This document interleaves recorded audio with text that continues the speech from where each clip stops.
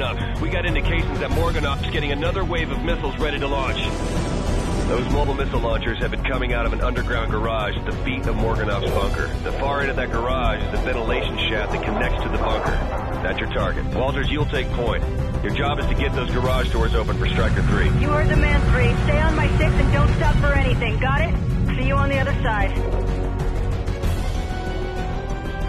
I'm almost there. Just a few more seconds. Walters, you're being spiked! Break off!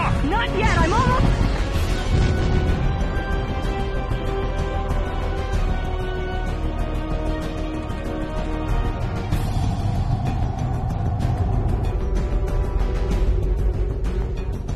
Striker 2's down. She's gone. You're all that we've got left. Those missiles have to be stopped at all costs. If we fail here, billions could die. You only got one shot, and it has to work. Do you understand? You put that bomb where it needs to go. Even if it means you've got to ride it all the way in. Sorry this has to fall on your shoulders. I'd change places with you in a heartbeat if I could. But I know you'll do what has to be done.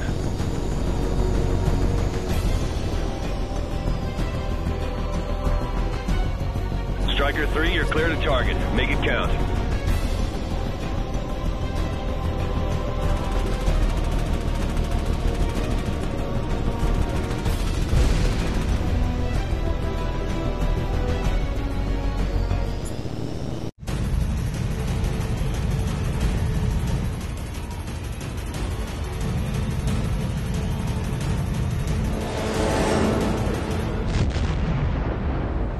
Drachev, this is Liberty. Are you picking up any signs of activity at the launch site? No, no activity whatsoever.